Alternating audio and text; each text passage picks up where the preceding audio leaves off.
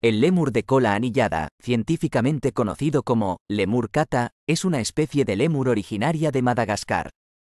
Se caracteriza por su distintiva cola larga y anillada, que suele ser más larga que su cuerpo.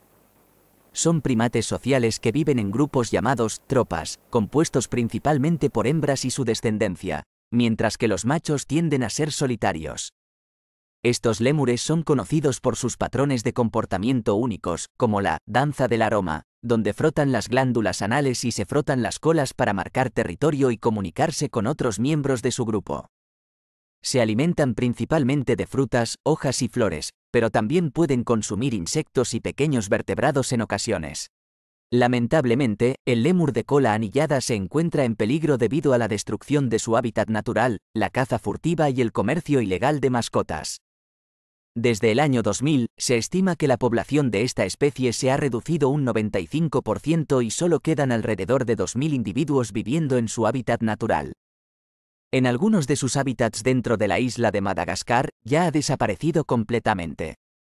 La conservación de esta especie es crucial para preservar la diversidad biológica de Madagascar y garantizar su supervivencia a largo plazo.